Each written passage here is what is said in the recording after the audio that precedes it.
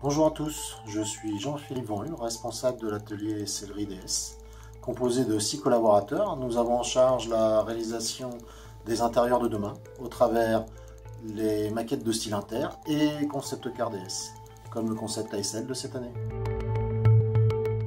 La situation actuelle n'est pas facile à vivre au quotidien, mais avant de confiner la céleri, nous nous sommes donné une mission recherche couleur et matière pour conserver notre implication, notre créativité et notre capacité à surprendre nos clients sur les finitions des intérieurs DS.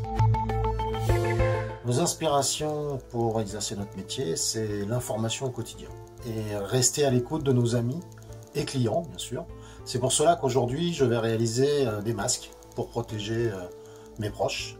Et si vous pouvez en faire, n'hésitez pas. Et bonne créativité.